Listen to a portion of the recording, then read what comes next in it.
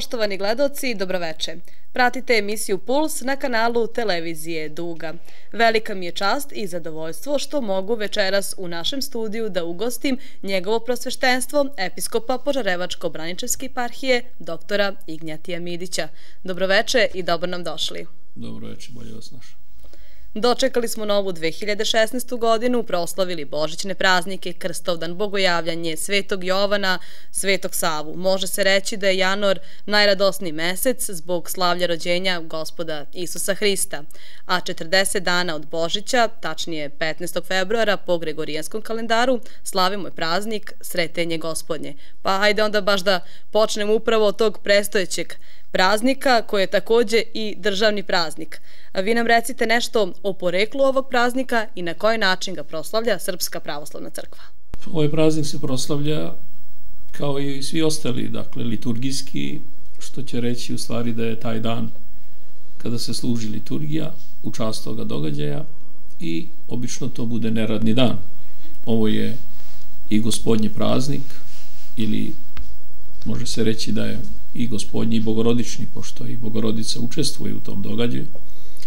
A sam događaj, sam taj praznik, je u stvari, kao i drugi praznici, pokazatelj da je Hristos, Isus Hristos, zaista Mesija i Sin Boži, onaj, dakle, koga su očekivali starozavetni pravednici i uopšte starozavetni narod izraelski, da će doći kao iskupitelji, kao, dakle, spasitelji roda ljudskog.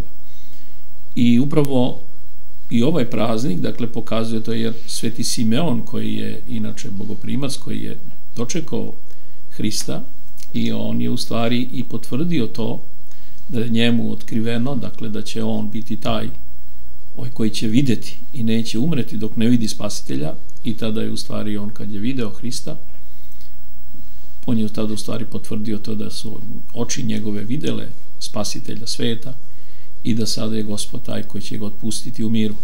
Dakle, kao i drugi praznici, dakle i ovaj praznik ima za cilj to u stvari da pokaže da je Hristo zaista taj obećani Mesija i da je on zaista spasitelj sveta, odnosno onaj koga su najavljivali starozavetni proroci i opšte starozavetni događaj. U vreme komunizma ljudi su se malo otuđili od crkve, pa znamo je tako da je sretenje slavljeno jedno vreme kao državni praznik, pa onda nije, pa sada ponovo jeste. Pa recite nam, na primjer, e, pošto se menjalo jeli, taj odnos e, uopšte ljudi prema Bogu, prema crkvi kroz e, vekove unazad, Kako je vaš, vaše mišljenje, kakva je situacija sada? da li su se ipak ljudi u odnosu neka prošla vremena ponovo vratili crkvi? E, ono što možemo reći sa pouzdanošću to je u stvari da je ipak naša civilizacija hrišćanska civilizacija. Na ovim prostorima i uopšte u ovom narodu, ali i šire u Evropi u stvari, postoji hrišćanstvo već kod nas recimo više od hiljadu i ovaj 200-300 godina imamo organizovanu crkvu od kad smo došli na Balkan ali inače u Evropi tu postoje već hrišćanstvo 2000 godina. I ono je, e, dakle, te vrednosti hrišćanske su ušle i u taj svakodnevni život čoveka i one se nasleđuju i mi moramo priznati da je zaista naša civilizacija hrišćanska.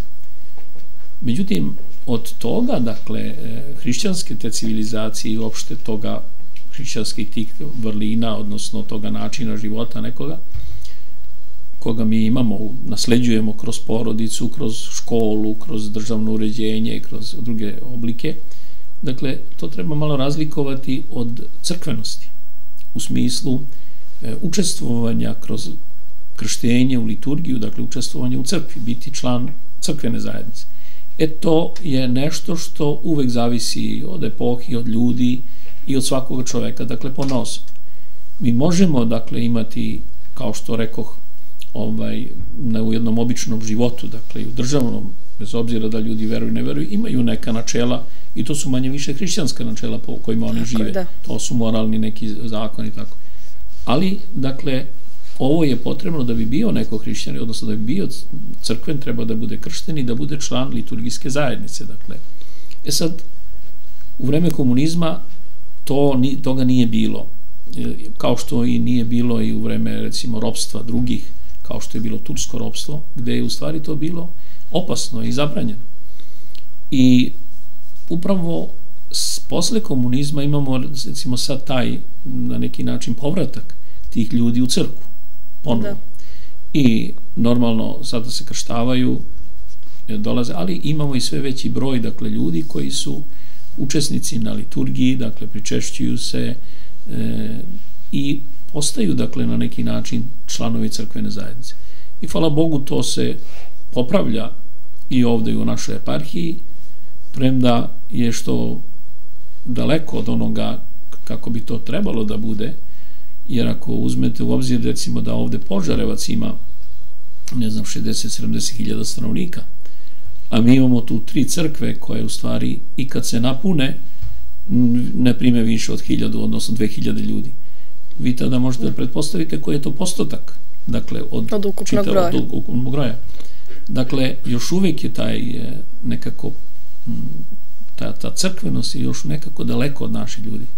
Ja smatram da je to uzrok toga ne samo komunizam koji je u stvari jedno vreme zatvorio, odnosno prekinuo taj neki kontinuirani hrišćanski život crkveni, već u stvari je to i sada uticaj sa strana, dakle ljudi više nekako pod uticajem novih ideja nemaju potrebe za drugim, a crkva je pre svega ono ukazuje na to da vi ne može biti to što jeste ako nemate zajednicu sa drugim čovekom. Zato je naša vera crkva. Dakle, nije, ne može niko verovati sam za sebe nešto. Ili recimo, ne znam, ja, ne može biti vernik da kaže čovjek ja verujem u Boga, čak i može i da čita iz istih knjiga i da se moli Bogu i sve to. Dok ne, se ne krsti, ne bude kršten i uđe u liturgijsku zajednicu, dakle, ne postane član jedne zajednice, on nije vernik. To znači, da. to ukazuje na to da vera naša ne može biti individualna. E sad, nažalost, to pokušavam i ja da prenesem tim ljudima i ovde i u svakom razgovoru, ali jaki su ti uticaji sa zapada, gde je taj individualizam došao do izražaja, gde čovjek u stvari misli da je sam sebi dovoljan, nije mu potreban drugi da bi on bio to što jeste. Čak šta više drugi mu smeta.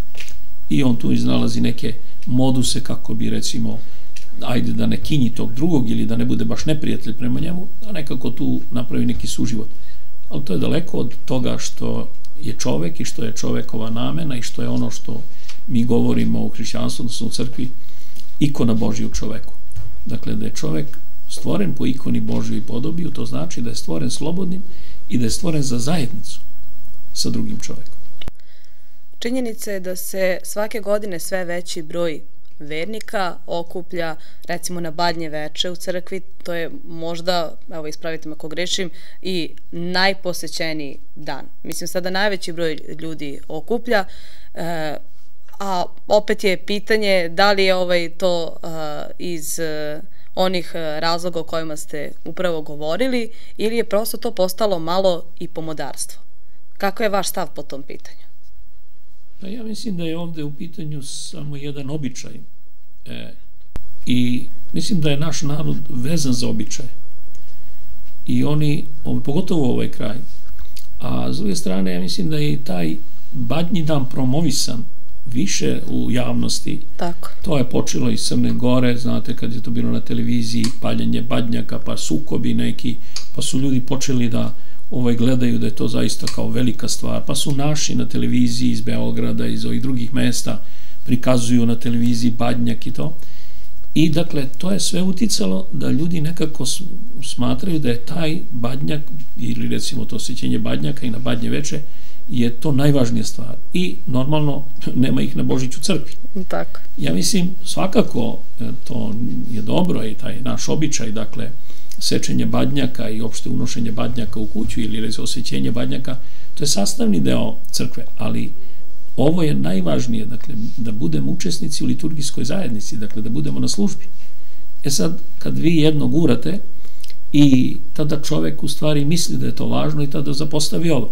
Ja sam i govorio i u saboru da malo ipak obratimo pažnju na ovo. Međutim, To sad zavisi od mesta do mesta i od episkopije do episkopije, kako se tu ljudi ponašaju, ali to je dobro, dakle, da to završimo sa tim. Dobro je to da se ljudi okupaju i oko toga događaja, ali ne treba da zaborave da ovo što sledi, dakle, sutradan liturgija božićna, da je to, bez toga, ovo nema smisla. Da. da. Zalagali ste se za uvođenje veronauke u sistem obrazovanja i pisali se takođe knjige iz kojih sada deca uče. E, u kojoj to meri doprinelo da sada deca budu edukovanija, znači da bolje razumeju i crkvu i da bolje razumeju veru i da steknu neku naviku da idu u crkvu i da znaju kako, ipak kako treba tamo da odlaze, kako da se ponašaju. Da li je već neki pomak evidentan u tom smislu?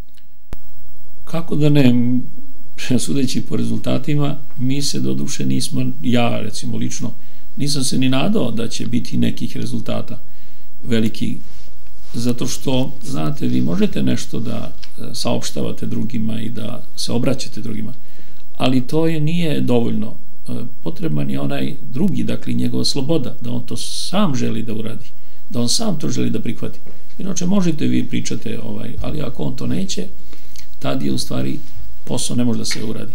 Međutim, ovde za Boži blagoslovom i, i njegovim čudom imamo dosta dih, dobrih plodova, dakle, što se tiče veronauke. E, imamo decu mladu, dakle, mlade ljude u crkvi, imamo i koji se interesuju i da nastave, odnosno da budu i u svešteničkom činu, dakle, i to sve nekako oplemenjuje našu zajednicu crkvenu, jer zaista je mnogo radosnije kad vidite mlade ljude u crkvi, ne samo na starce. To znači da ipak je Božje seme tu bačeno i da ono klija i da to vam daje i nadu, dakle i nekako drži nas e, sve u toj boljoj veri, da tako kažem. Teško je to kad vi služite u praznoj crkvi. I tada kad vi kažete, čekajte, nikom me ne, ne, ne prati, niti ko ovaj, se odaziva na to, To je vrlo teško izdržati i nositi takvu veru. Tako je recimo bilo za vreme komunizma kad su sveštenici mhm. bili malo i proganjani, kad narod nije dolazio u crku, nije smeo, tad mnogi ljudi su posustali, poklekli i razočarali se i rekli čemu ja ovo služim. E sad je to bolje. Hvala Bogu da je, dakle, mi se trudimo i veronauka je nešto što nije samo za crkvu važno. Ona je važno za šire to društveno, širu društvenu zajednicu. Nažalost što to mnogi ne, ne, ne shvataju i u prosvetnim strukturama, oni to nekako još uvek doživljavaju ideološki. Dakle, u smislu, da. ja sam jedna ideologija i ovo je strana ideologija za mene i ja to ne dopuštam. I normalno kako to, odnosno, nažalost, kako to kod nas biva nenormalno, tada onaj svojom ideologijom, on poistovećuje sebe sa državom i on govori ume narode, on kaže narod ne želi veronauku i ova država ne treba da ima veronauku. Mislim se nešto, a ovamo govore, zalažu se za neku demokratiju, kao navodno ti imaš pravo koliko i ja, i bilo je sad ovih polemika oko te, ovaj, kad je ministar najavio da će onda reducirati i broj časova u veronauke školama, i ja sam čitao koje kakve stvari gde recimo ti odobravaju pa kažu ta ovo je demokratsko društvo i nema tu šta veronauka da traži u školama. Pa mislim se nešto... Baš naprotiv, ako tako. si demokrata, kako ti imaš pravo, dakle, da ti svoje ideje propagiraš u školi, a ne dozvoljaš da propagiraju drugi. Ja mogu da se složim sa tim ako mi vi argumentovano pokažete da to što mi učimo decu, da je to loše i za društvo i za tebe lično, da ga ja učim da ono tebe mrzi i da si, ne znam ja, radi o glavi i ne znam ja, tada u redu. Tada može da se dozvoli da se država brani od toga i treba da se brani. Ali vi decu usmeravate na jedan put da on brine se za drugog čoveka, da drugog čoveka, ne samo svoje najbliže, nego i drugog vidi kao svoga brata i da pomogne i da se sve to poveže sa Bogom, dakle sa tim večnim životom. I ako vi u tome vidite da je to opasno za vas, to znači da vi u stvari, da je taj čovek koji to vidi ideolog, odnosno smislu ideološki opterećen. On ima svoju da. ideologiju i teško nama, ako se to ponovo vrati, da ti ljudi koji imaju te, tu ideologiju da oni počnu da sude ostalom svetu, kao što je to bilo kod nas u komunizmu ili u Rusiji ili ne znam ja. Tada ćemo otići mnogi podled. Nadam se da neće. Dakle, ovaj, veronauka ima plodova i ja se nadam dakle, da će biti ovaj, u budućnosti, ali veronauku isto tako poštuje i to smo se mi u crkvi dogovorili na saboru, da to, taj predmet uvek bude izborni Ne da bude u smislu obavezni, da vi morate da idete tamo. Ne, vi možete da izaberete. Dakle, zato što to je sva suština naše hrišćanske poruke. Da mi poštujemo slobodu drugog. Tako, mnogi... I ne može ništa da opravda, ni najbolje, ni najveće dobro, ne može da opravda represiju prema drugom i ukidanje slobode drugome radi dobra. To je ono što nama kažu, ne znam ja kad smo bili ma, ja te bijem za tvoje dobro. Mislim, dobro u redu, to je bilo malo i ovako šala, tako su nas i roditelji vaspitavali, kao da. jest, oni su tako i mislili. Batina iz ali, Da, da, ja te bijem za tvoje dobro, to znači, ali to ne može da se dozvoli, mislim, ajde, deca smo kao deca, to smo mogli da nosimo, mi nismo imali taj osjećaj da su nama roditelji bili neprijatelji, već naprotiv, mi smo i sami znali da treba da malo i se korigujemo, ali tomu tako dođe, dakle, da ovaj, ako vi na silu nešto radite, to znači vi na silu radite za moje dobro, to ne može biti. Dakle, dobro. Dobro, ako nema, ako nije na slobodi utemeljeno, na to ljubav ne može biti dobro. Mnogi pogrešno shvataju pojam slobode. To ste vi više puta i objašnjavali. Evo nije na odme da kažete još jednom da prosto taj pojam slobode ne treba da se shvati kao što mnogi sada shvataju. To ne samo mladi, nego već i ljudi koji su uh, životni vek manje više proživeli da je sloboda, slobodan sam ako mogu da idem gde hoću, radim šta želim, e, u tom nekom smislu, a zapravo, znači, sloboda treba da bude shvaćena u nekom drugom smislu. Šta znači biti slobodan? Nažalost, e, i taj, dakle, pojam slobode je nekako protumačen u onom zapadnom smislu, jer to nam je sa zapada došlo. Došlo, da. Pošto je zapad u stvari poistovetio čoveka sa individuom, dakle sa jedinkom koja nema potrebe za drugim, tada i sama sloboda, dakle, je tako protumačena. To znači ja, sloboda za mene. I to znači sloboda od drugoga. To znači što sam nezavisniji od drugoga, što e, sam usamljeniji u smislu u svome radu i ne znam, ja sam slobodniji. E, međutim, to nije hrišćanski shvatanje slobode. Hrišćanstvo shvata slobodu upravo tako kao ljubav prema drugome sloboda za drugog. To znači sloboda koja nosi odgovornost. Dakle, ja sam slobodan, ali slobodan sam u stvari da štitim tebe. E, nažalost, mi imamo recimo i takvi konvencije u Ujedinjenim nacijama, to je u stvari sve to je plod te takozvane evropsko-atlantske ovaj, civilizacije, e, dakle, zapadne te civilizacije, gde u stvari i tak, te konvencije o ljudskim pravima, ona na kraju se svode na to da se u stvari štitim ja, štitim sebe od drugih. To da vi imate pravo, u stvari to podrazumeva da ja u stvari sebi obezbeđujem to pravo, da se ja zaštitim od vas, da vi meni ne možete ništa da učinite. To ako se malo dublje analizira, vidjet ćete da to u stvari u tom, to jeste.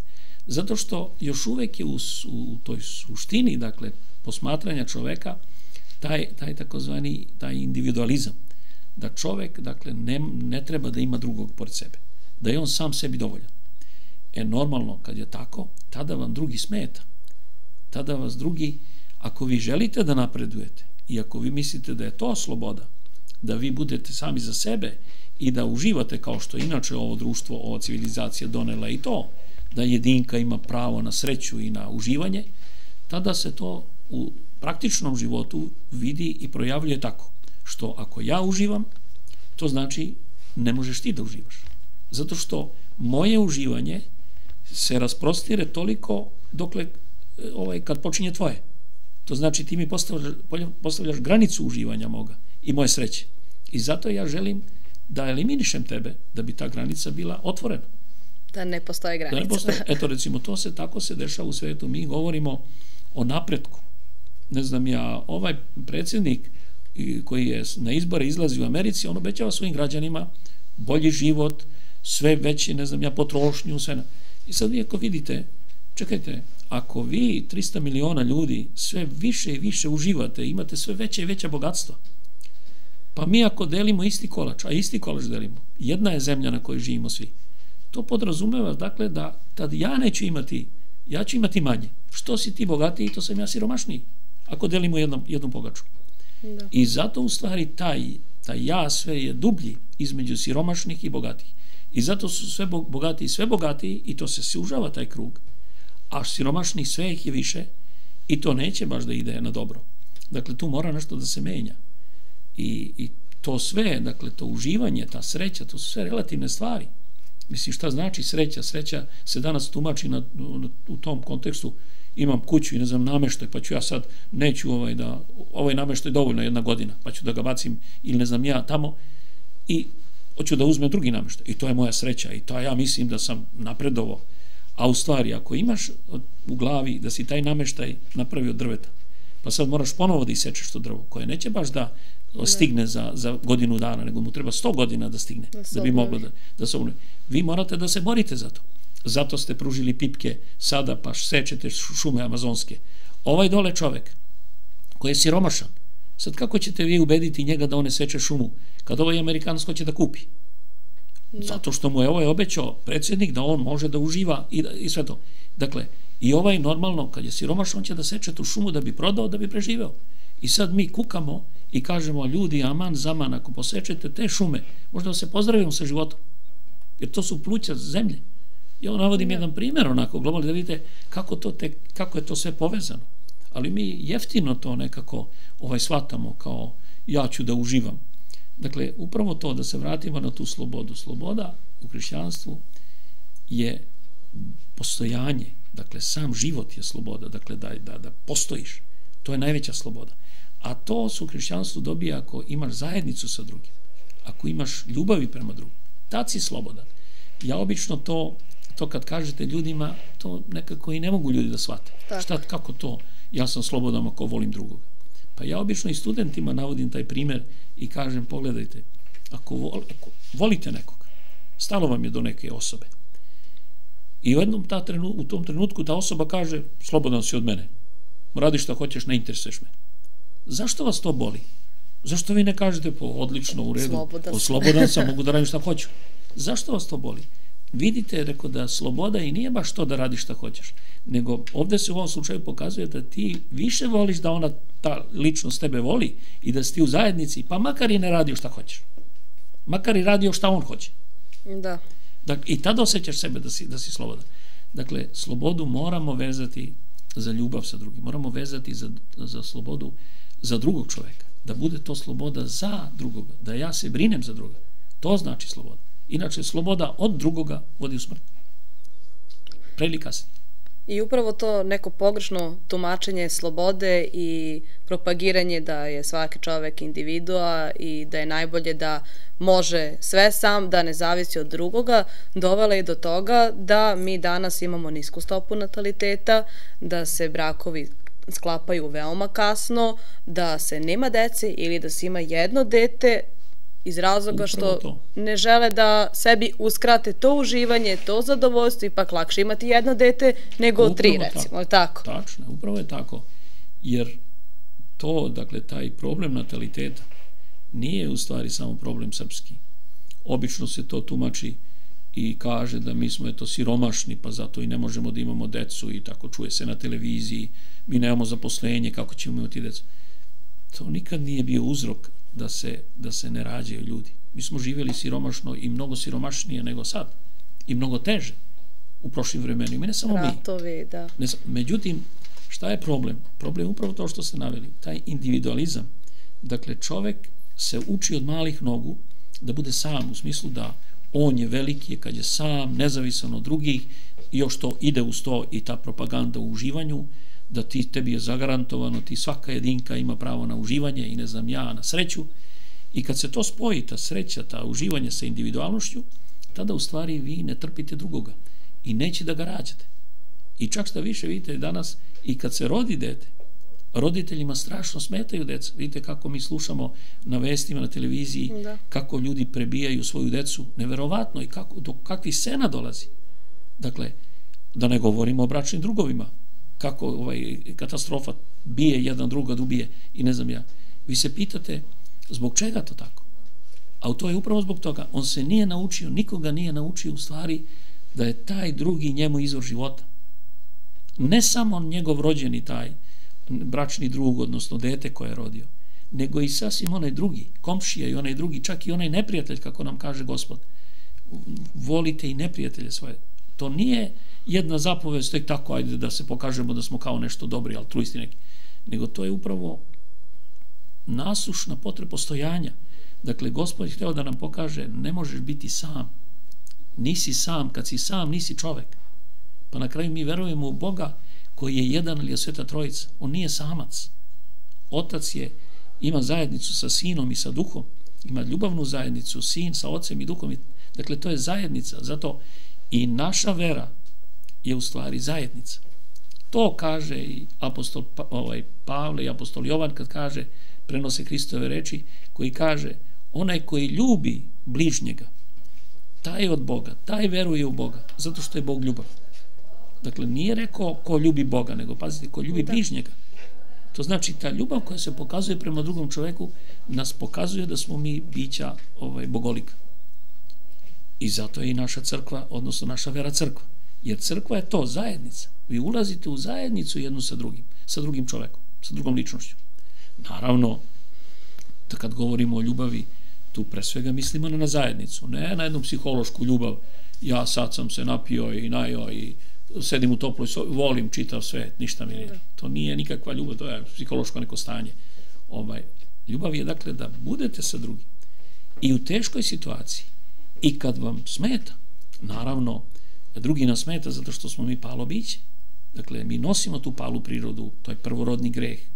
Zato što suština toga greha prvorodnoga, kako su na sveti oci objasnili, je u stvari upravo u tom odbijanju da imaš zajednicu sa drugim. Adam je rekao Bogu, neću te, ja ću da budem sam. I on, dakle, misli da će na taj način, što će biti sam, nezavisan, da bude slobodan i da bude, ne znam ja, veliki. Međutim, ispostavilo se da je da ga vodi u smrt. Ali takođe nas, svakoga od nas, koji god svome bratu, svome drugom čoveku kaže neću te i prema njemu ima neprijateljsku mržnju, on u stvari sebe osuđi na smrt. To mi često ne, ne pazimo i nažalost ne učimo ni svoju decu da tako rade. Recimo je to škola, ja poštujem na kraju krajeva školu, ali i škola na neki način kao i u porodici već redko se čuje da vi učite dete da on se žrtvuje za drugoga i da mu je drugi vrlo bitan, nego ga učite nekim veštinama kako će on da prođe bolje u životu, da zaradi pare, da prevari drugog, to je to na kraju krajeva. Da bude lukaviji od drugih i zato kažu nema za budala, nema hleba i za ove, za ove glupave nema hleba. I vidite kako, kako šta radi ona naša civilizacija.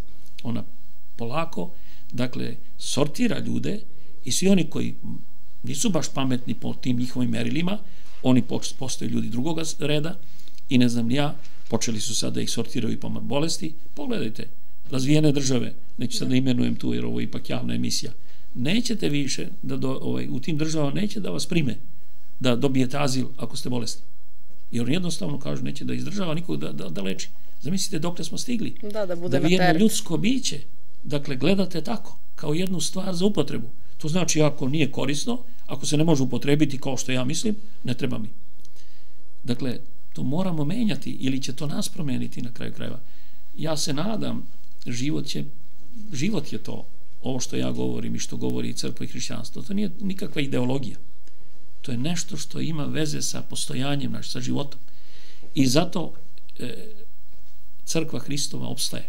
Uvek, zato što ne može se protiv života. Mi možemo na neki način da ugrozimo taj život, kao što smo često to radili veliki ratovi svetski, radničite ideologije, komunistička, ne znam ja. Ali opet taj život ponovo isklija, on zbaci to sa sebe i ide napred. Ali zašto bi dozvolili da tako patimo i pate naša, naša pokolenja buduća zbog naših gluposti, da moraju oni kad udare glavom u zid, da se tad sete toga što gospod govori, što crkva govori, da kaže čekajte, ovaj, kad možemo to da uradimo na vreme.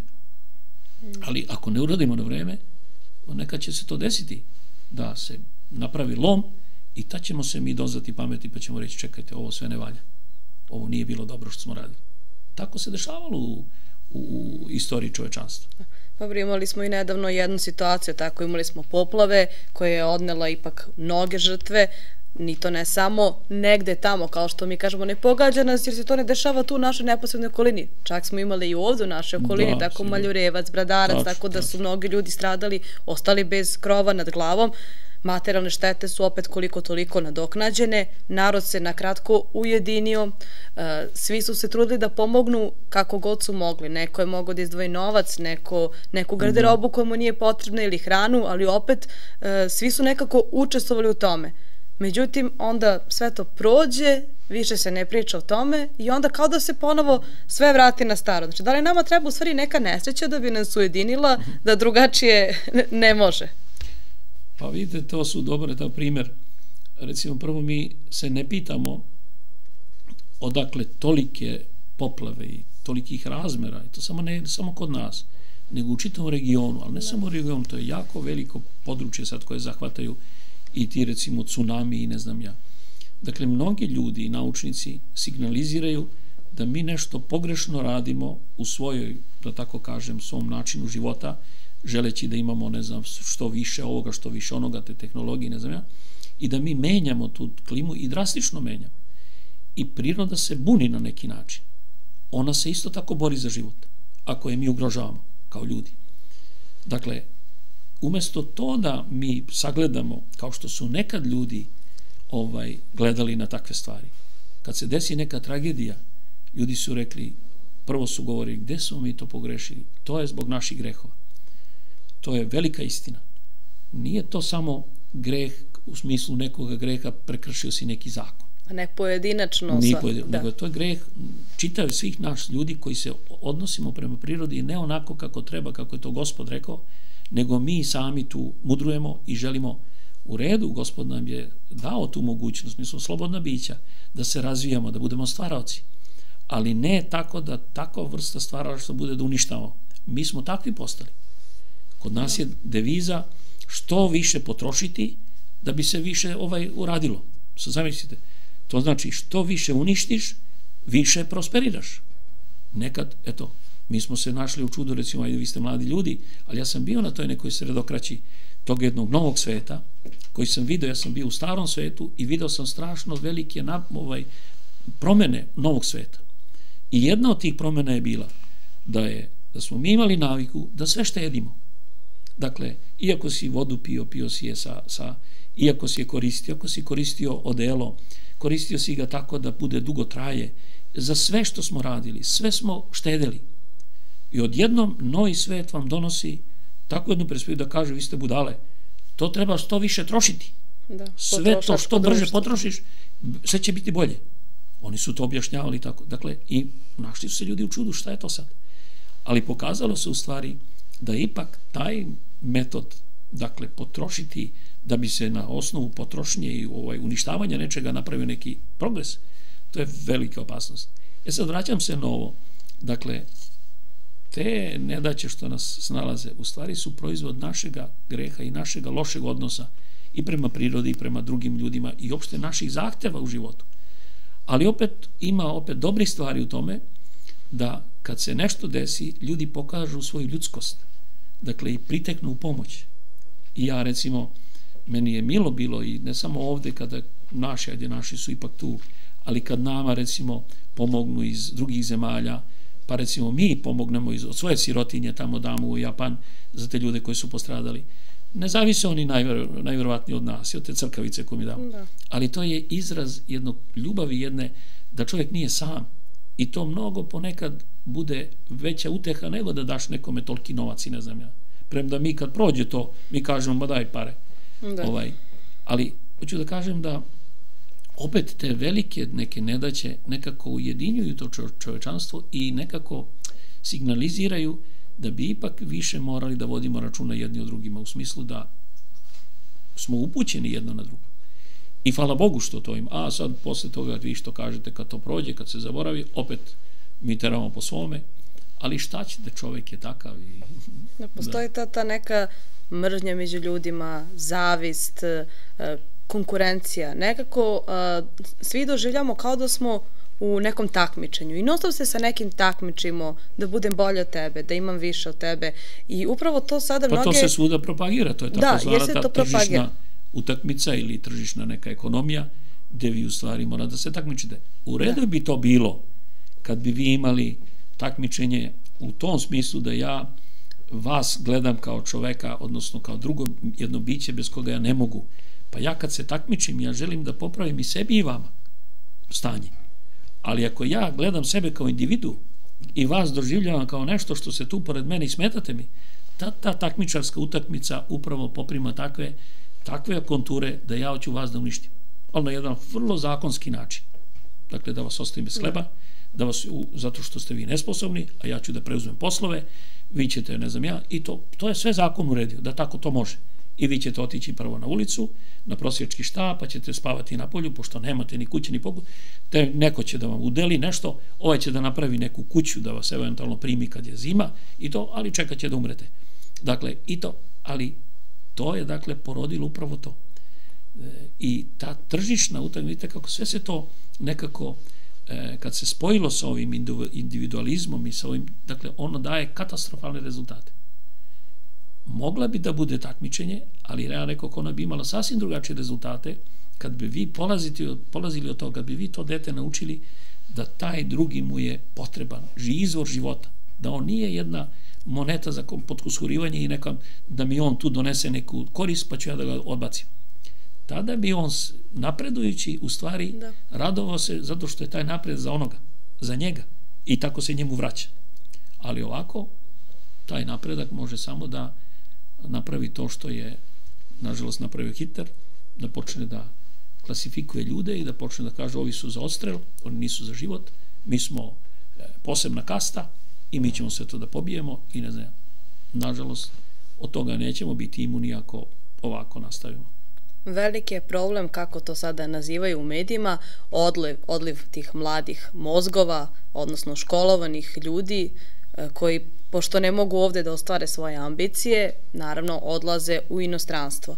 E, imali smo sad i situaciju da recimo za naše mlade matematičare koji su osvojili zlatne medalje, nije bilo mesta na balkonu i da prosto niko u Srbiji ne zna ko su ti, ne znam, matematičari, fizičari, nebitno iz koje oblasti nauke, osvajaju stvarno velika priznanja i to svetska, da budu prvi u svetu, dok recimo za sportiste, na primjer, svi znaju, jer se to više propagira.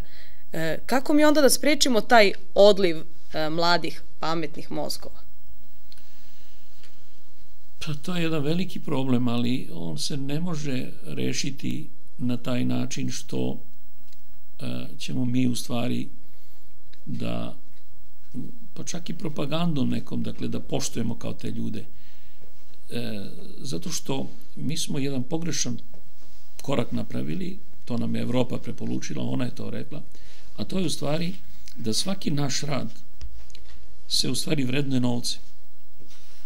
I drugi jedan problem je u stvari taj, to je donela ova globalizacija, a to je da vi u stvari preko televizije, preko tih medija gledate život. Sad vi gledate život na televiziji, vidite kuće neke, ne znam, po Kaliforniji ili ne znam već gde, na nekim ovaj, švajcarskim jezerima i ne znam, i vi mislite da vi tako treba da živite. I da je to vaš ideal u životu. Da vi steknete sve to. I da je to sreća. I ako to nemate, vi ćete biti strašno nesrećno biće. I da počinju naši ljudi, kao i čitaju svi evropljani, da gledaju to i to im je ideal. Oni sve zaboravljaju drugo. Nije više bitan čovek drugi, da li sam ja učio medicinu da pomogne drugom čoveku, ja sam učio medicinu za radim pare. Dakle, i da, ovaj, ne znam, ja imam kuću na, na ovaj, vilu na, na ne znam ja gde. Ovaj. I normalno, za njega to više ništa ne bude. I on će da promeni stotinu država svaka ona koja mu da više. Ovaj će ga primiti zato što jednostavno nije ulagao ništa u njega, on je dobio gotov kandidat, daće mu crkavicu više, on će tamo da radi kao da, i na kraju šta će dobiti? Dobit će kuće i ono što kaže pesma i vrane, konje razigrane, ali to neće biti sreća na kraju. Oni će sami to videti. Dakle, život može da se napravi da bude srećan i ono, iz onoga što imate. Samo ako postoji taj odnos da vi u stvari živite zbog nekoga, trebalo bi više da obraćamo pažnju na živog čoveka nego na stvari. Da nam je važniji, dakle, taj živi čovek nego stvar. Ali šta da radite vi kad sva civilizacija ide protiv toga što ja govorim? Normalno ja ne mogu ništa da uradim i ja u toj civilizaciji živim. Evo recimo, jedan primer. Sada, njega više ne raduje e, dete jedno. živo, ili jedan živi čovjek tu koji stoji pored vas, on ima svoj kompjuter i on će da virtualni svet izabrao, on će tamo da igra te igre i čitav dan će provesti i noć uz to i ne može da se odvoje od toga. On uopšte ne konstatuje da postoji neko koji je taj, koji nije kompjuter, ali koji je mnogo širi od svih tih kompjutera njegovih i od svih nebesa, jedan čovek živi, on nosi u sebi jedan svet ne, nepoznati, tajnu i veliku, spaja nebo sa, sa, sa zemljom.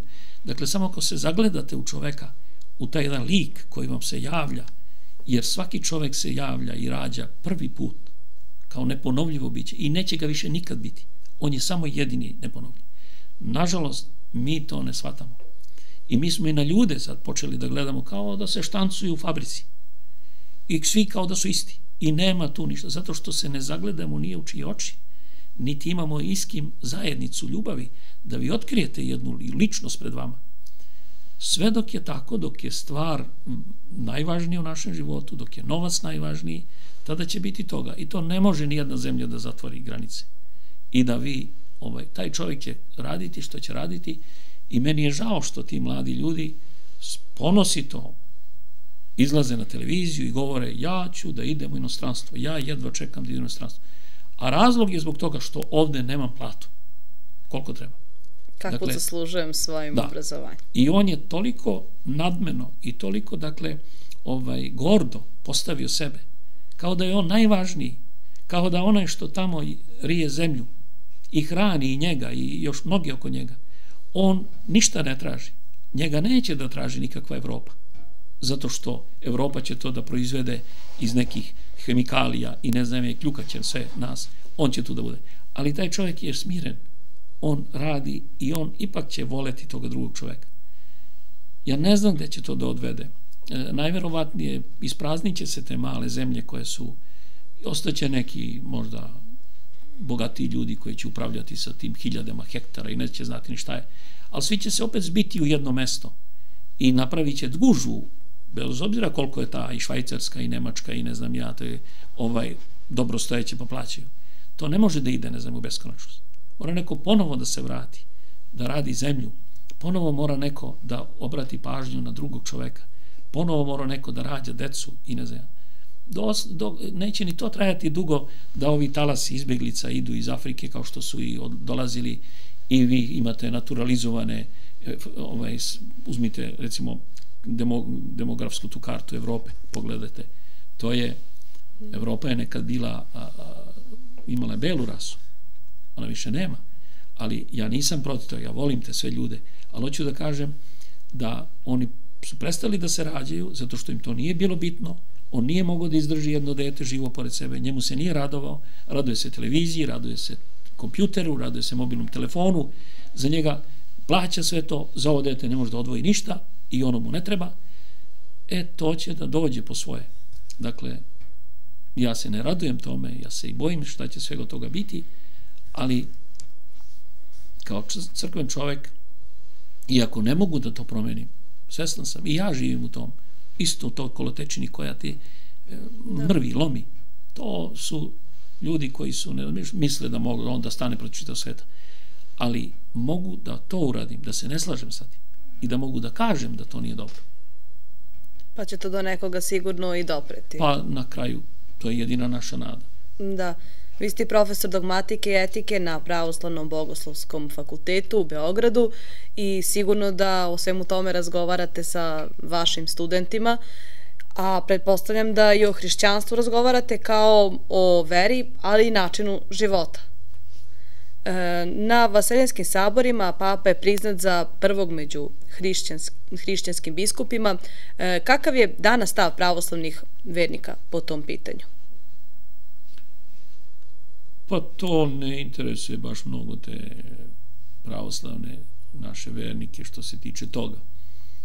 Dakle, to je više onako dijalog između crkava, Vernici I, čak i ne razumeju to možda da, u prave pa, sigurno, meri, tako? ali hoću da kažem to da dakle, to nije na dnevnom redu, dakle, to među vernicima.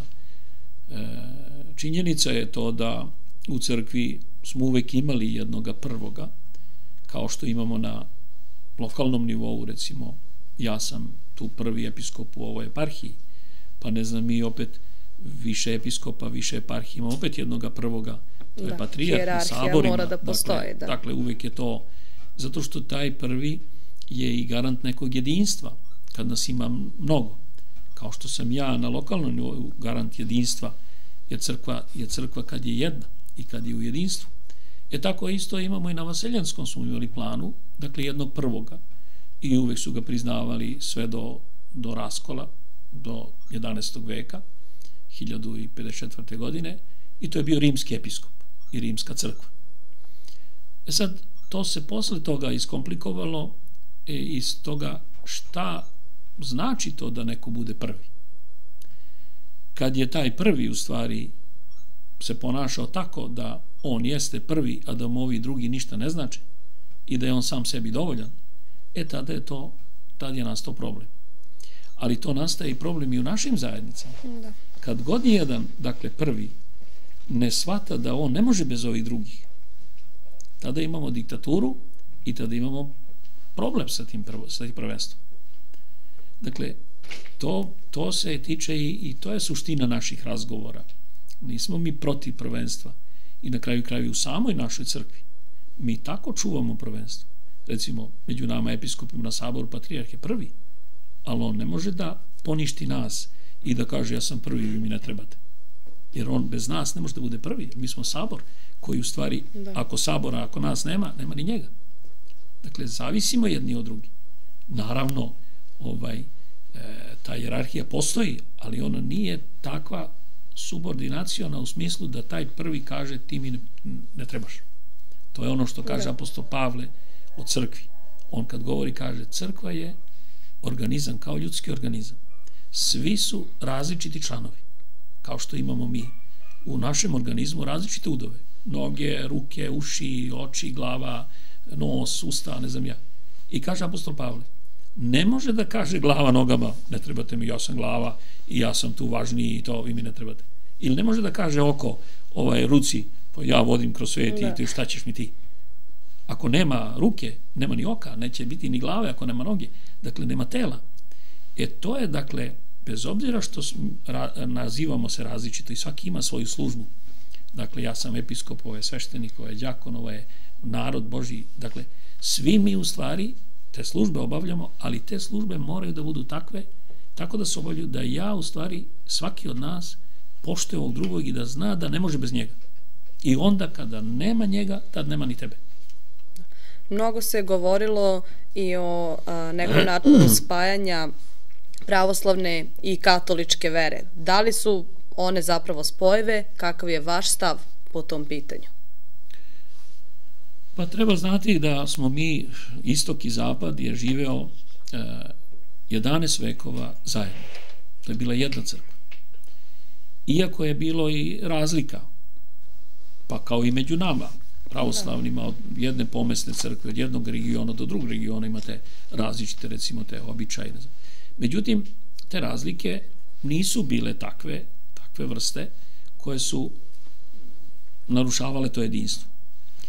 Međutim, kad se pojavile razlike neke i u načinu, dakle, ovo što sam pričao, dakle, e, načinu ponašanja u smislu, recimo, kada je taj prvi rimski episkop rekao ja sam prvi, vi meni ništa ne značite i ja mogu, što ja odlučim, to će da bude, dakle, tada se pojavlja problem i tada se pojavlja rasep. Ili kad se pojavi, pojave takva učenja u crkvi, koje mi nazivamo ovaj, jeresima, dakle, koja su pogrešna i ona stvaraju rasep. Dakle, i mi, to se dogodilo između nas, dakle, istočne crkve i zapadne. Međutim, to mi smo pozvani od gospoda da budemo jedno. I mi se stalno molimo u crkvi našoj pravoslavnoj za jedinstvo svih hrišćana.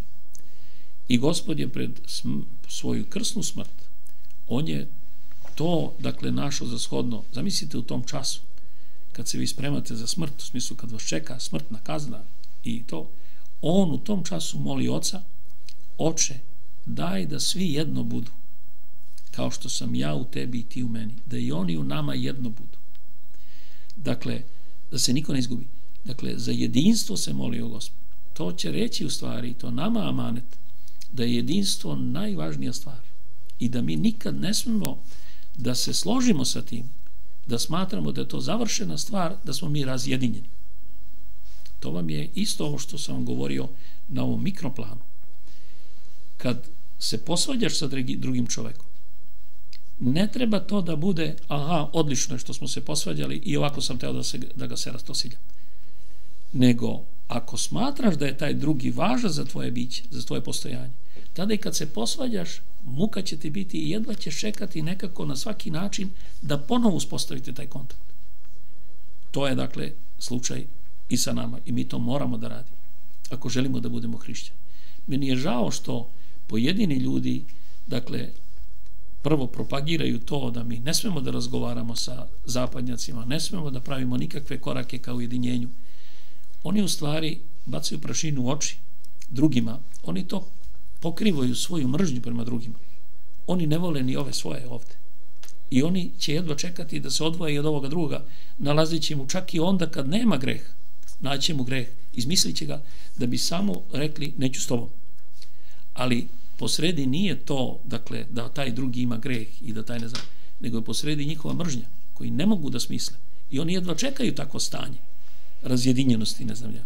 Međutim, pravi hrišćanin, on ne može da ne tuguje što smo se mi razdelili na stotine frakcija i da ovaj, za gospod za nama tuguje. Zamislite vi, mi ponekad svojatamo Boga i mi mislimo da Bog samo nas voli, da sve druge mrzi. Ponekad i to mislimo da ćemo mi sad njemu da se pomolimo da on sve od druge uništi zarad moju ljubav. Neće biti da je tako. Gospod ne gleda tako. Mi smo svi njegova deca. On je za svakoga od nas stradao. Po imenice. Dakle, dao život svoj. I on ne može da pusti niz vodu nikoga. Naravno, da. neće na silu onda. Ali, ako smo mi, dakle, gospodnji, mi tako treba da se ponašamo.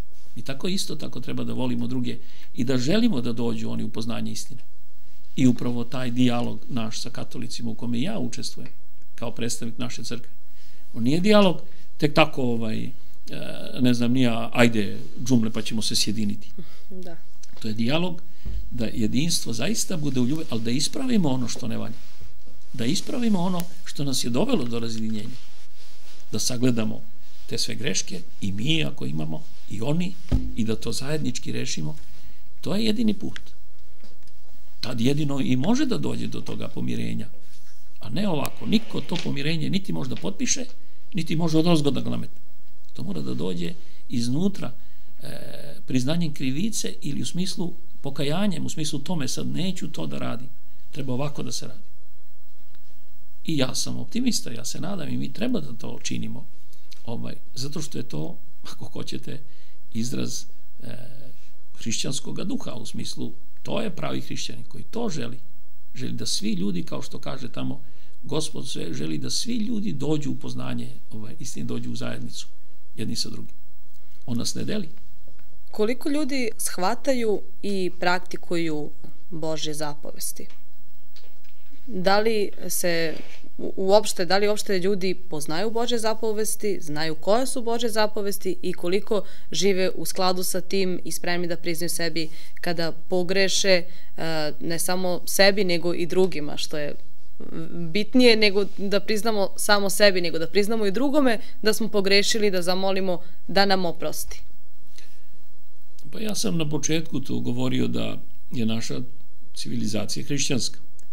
To znači svaki tu zna Boži zapovesti. Nije to stvar da se vi kao niste učili, niste čitali sve to pismo pa ne znate Boži zapovesti. Svaki zna danas da ne ubije, da ne ukrade, da ne svedoči ovaj, lažno prema bližnjemu, da ne znam, ne, ne ovaj, zlostavlja drugoga. To su Bože zapovesti. I to svi znaju. Zato ja kažem da je naša civilizacija hrišćanska. Ali, jedno su sad to Božje zapovesti da vi to ne uradite drugome, da ne ubijete drugoga, da ne ukradete od druga. Ali drugo je da vi sad volite tog drugog. Drugo je da vi ostvarite zajednicu sa njim. To je sad jedna druga stvar koju treba da naučimo. I sad nije to samo dovoljna Božja zapovest. Ja sam slušao, pa i to je ponekad i studenti, ali govorim, tako su nama govorili, neki ovaj, ako bi čovek ili čovečanstvo ispunilo samo jednu Božju zapovest, tad bi nastao raj na zemlji. Dakle, šta to znači? Ako niko ne bi krao, ili recimo ako niko ne bi ubijao drugoga, da bi nastao raj na zemlji, to ne bi maž se složio sa tim. Mm, da. Dakle, to nije to. Raj na zemlji može da nastane tada kada dođe gospod, kada bude ukinuta smrt, a mi to ne možemo da učinimo preko zapovesti. To, zato se mi i nadamo u Hristovom drugom dolasku i zato se i nadamo i vidimo i prvi dolazak njegov, da on u stvari taj koji nas oslobađa te najveće muke i najvećeg problema od koga proizlaze svi problemi, a to je smrt. Ali, dakle, ta, to prevazilaženje smrti i to, taj život večni, on traži ovu dodatnu ovaj dimenziju, traži ljubav prema drugom čovjeku. To znači, da. možete vi da budete kao po svim zapovestima Božjim, ovaj, kažete poštuj oca i majku, to je zapovest Božja. Poštuj Boga, nemoj da ovaj, i, i, imaš druge bogove, ne znam, veruj u Boga, to je Božja zapovest. Ne znam ni ja. Sve to u redu. Dakle, i možete vi sve te zapovesti da, ali ako vi, ali vi možete da ostanete sami u tim zapovestima, da ne volite nikoga. Jer nije isto da ja od vas ne ukradem i da ja svolim. To nije isto. Ja ne mogu da, da ne ukradem od vas. Ali isto tako mogu i zato što nisam ukrao i neću da kradem od vas, mogu jednostavno da vi za mene ne postojite. Kao biće. Da. E to sada, to treba da se, ne možeš, hrišćanstvo te zove, Bo, Gospod te zove da učiniš taj korak da ovaj drugi postoji za tebe. A to se ne može baš tako. Zato mi i govorimo o tome da je naša vera crkva. Dakle, da treba neko da uđe u zajednicu sa drugim, konkretnu zajednicu, sa Petrom, Pavlom, Jasminom, Anom, Jankom, Ignjatijem tamo, ne znam, u crkvu. Ostali zajedno, to su živi ljudi. To je crkva. A iznad crkve, izvan crkve može da bude neko i savršen po moralno. Imate takvih ljudi koji žive kao sat. Ima principe svoje i sve to su humani principi. On nikoga ne vređa, on je tamo tačan na svom poslu, on, ne znam, ja neće da ukrade, on neće da slaže drugoga, on, on može da bude savršen, ali nije to dovoljno. Ako ne uđe u crku, što kaže gospod, ako se ne rodiš vodom i duhom, nećeš imati života u sebi. To znači, ne spašavaju nas te ispunjenje tih regula nekih, nego nas spašava ta, taj korak koji napravimo i ostvarimo zajednicu sa drugim čovekom i sa Bogom. Tu ličnu zajednicu. A Tako. to, ja ne znam koliko puta da to kažem, ali to mora da se ponavlja da bi ljudi mogli to da shvate, tu razliku. Da, jer činjenica da. je da nešto što se više puta ponavlja, to postaje istina i postane nešto opšte prihvaćeno. Nažalost, obično se ono loše bolje primi nego ono dobro, ali promenit će se i to. E, ima još mnogo tema za razgovor, ali već Naravno, moramo ali da privodimo vremena. kraju, da ostavimo nešto i za sledeći put. Ali evo da završimo recimo sa ovim pitanjem koje je takođe sada nešto aktuelno. E, mnogi smatraju da je e, duhovnik, odnosno svešteno lice, da je na neki način doktor za dušu. I odlaze već kod svog duhovnika, da li je to, ne znam, pop, da li je džakon, da li je sveštenik, da je u nekom manastiru i sa njim razgovaraju i smatraju da bi svako trebalo da ima svog duhovnika, koga će da posećuje, sa kojim će da razgovara. E, kakav je vaš stav po tom pitanju? Da li vi mislite da to zaista potrebno da svako ima svog duhovnika ili prosto to nije potrebno? Znači, dovoljno je kao što smo uvek do sada i radili, da dođemo u crkvu, da budemo u zajednici na taj način sa Bogom. E, tačno, mislim da u crkvi u stvari jedan je uvek bio duhovni otac, episkop, ili kome on blagoslovi, dakle, da bude. E sad, posle toga se razvio i taj, takva jedna vrsta duhovnosti, gde sada, pogotovo u naše vreme, ali malo i ranije od to ovaj, počelo, gde sad ljudi misle, imaju duhovnike i to i sad idu kod njih na savetovanja i na i, ispovesti. E sad, to nije loše, mislim, ako ljudi se posavetuju, nije to loše. Međutim, postaje problem koji ja vidim, ali koji mnogi ne vide, a to je u stvari kad ti duhovnici počnu da kažnjavaju te ljude, oni donose sud, recimo odlučuju od pričešća. Kaže ti, ne možeš da se pričešćeš, ne znam ja, dve godine, tri godine. To su strašne stvari, zato što, pre svega, da neko donese odluku da nekoga isključi iz pričešća, to ne može da bude bez znanja episkopa i suda, a opet to je u staroj crkvi bilo nemoguće bez znanja sabora, svih episkopa. Jer tako kaže peti pravilo prvog, peto pravilo prvog oseljenskog sabora, da kaže ako je neko odlučen od pričešća, ako je neki episkop odlučio nekog od pričešća, da, pa se ovaj žali, ili dođe i kaže nekom drugom episkopu, da se sazove sabor svih episkopa i da se razmotri da li je taj odlučen zaista zbog krivice neke, koja je tako teška, ili je on odlučen zbog malodušnosti toga iz nekih ličnih pobuda tog episkopa. Pa kaže, ako se nađe, ne znam, ovo prvo, dakle da je on zaista kriv, onda bude odlučen od svih. I dok se ne pokaje, da nigde ne bude priman. Ako se nađe ovo drugo, kaže, da on nema krivice, nego ovaj nešto iz svoji neki lični povod, da se ovaj svrgne i da se rašini. Dakle, vidite kako su bili strogi ti kanoni. Zato što je to strašno, vi kad odlučite nekog od pričešća, vi ste ga osudili na smrt. Jer pričešće je zajednica sa gospodom. Vi kad prekinete tu zajednicu, tada ga osuđujete na smrt. Ne može da, mi ne možemo da živimo bez gospoda. Dakle, to je ono što je problematično u tom sada. Dakle, ljudi sami, bez ikakvog znanja i episkopa, i crkve, i suda, oni odlučuju, oni sude, oni osuđuju. Imali smo takve, recimo, slučajeve, da ljudi, ne znam, ja sam bio prisutan, kad je jedan sveštenik, ovaj, kaže mu vladika njegov, da se obuče, ovaj, da služi liturgiju. On kaže, ne bi mogao. Kaže, zašto? Ja ste bolesni, kaže nešto ili šta? Ne, kaže, moj duhovnik mi je zabranio da služim. Mi smo se zgledali, to je bilo strašno za mene, čujem. Dakle, i ovaj čovjek je gledao u mene. Zamislite vi, episkop, dakle, taj koji je tu prvi, on ima svog duhovnika, taj sveštenik, komu je ovaj diriguje tamo. A da ne govorimo šta je sve trauma kojih, recimo, imali sam takve kod mene da. dođu, pa ne znam ja, kao eto, vladiko, šta da radim, mene moj duhovnik odlučio od pričešća ovaj pet godina, a on je umro. I šta ja sad radim? I sad, dakle, je takvoj situaciji. Da. I ovaj, ne, ja sad kažem, pa rekao, šta ste vi došli kod mene? Rekao, on mi još nije rekao, rekao taj ko je došao, da je ovaj, pa rekao, neka taj, kad ste već otišli tamo, vi znate kako je to, to uopšte nije pravilno, i ne znam ja, ali na kraju kraja, ako imate vi grižu savesti, idite kod njega, pa neka vas on razrešuje sa to. Pa kaže, on je umro.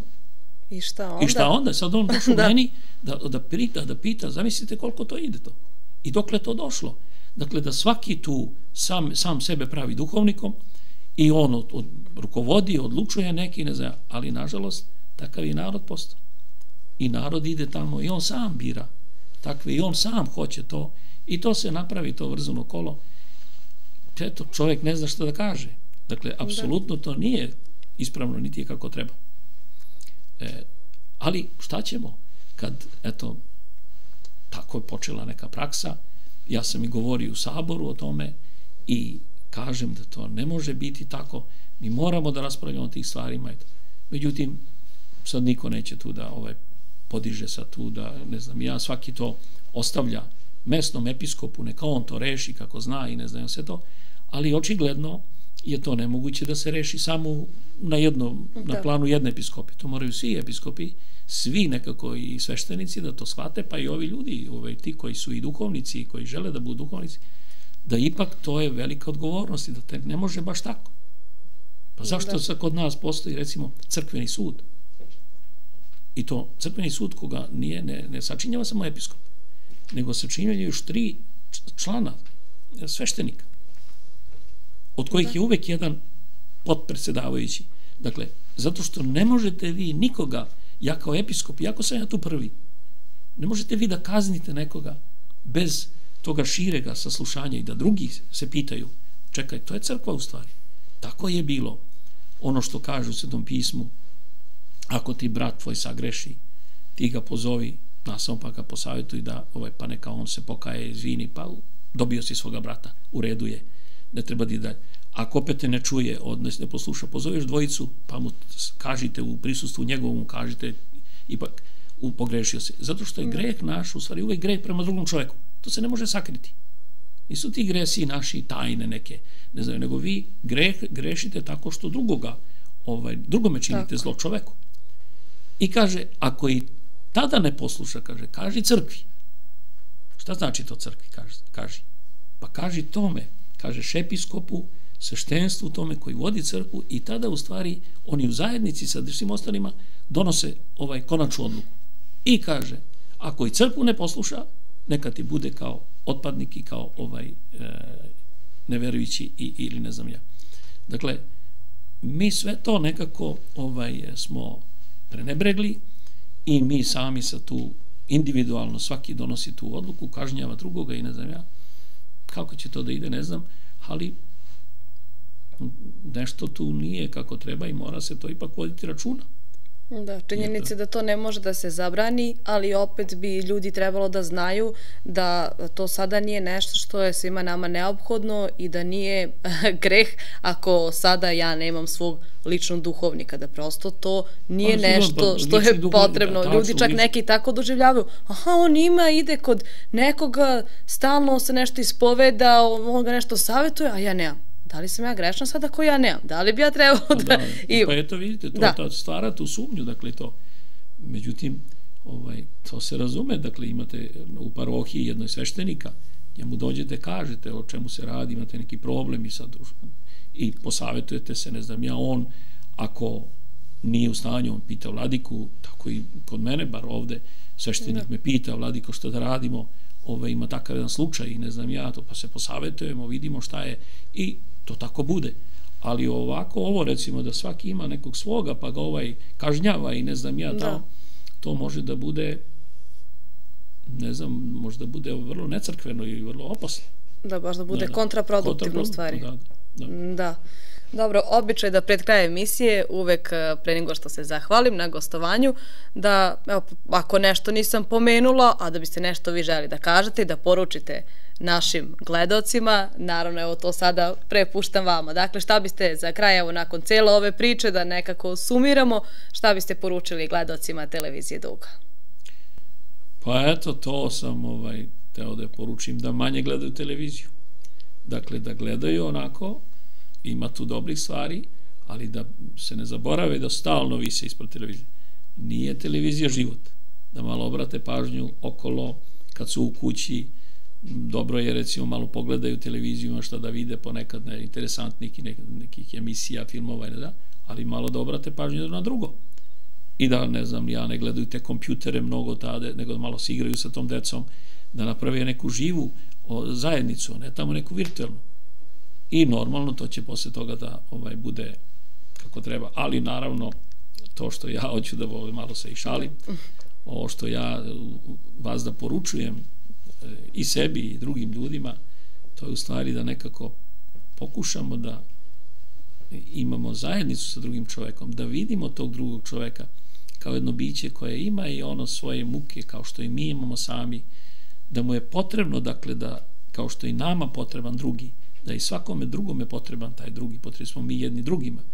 Dakle, i da je to hrišćanstvo, dakle, to donelo tu jednu dimenziju postojanja koje se temelji na zajednici sa drugim.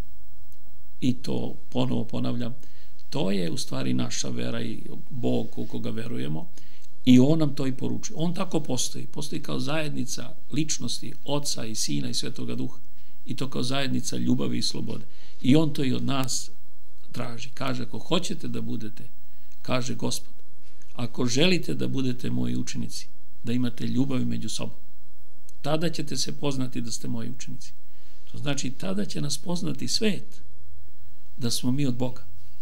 I znate kako? Ako što više ljubavi imamo jedni prema drugima, dakle, čak i ako nas je mala zajednica, ona uvek ostavlja pečat.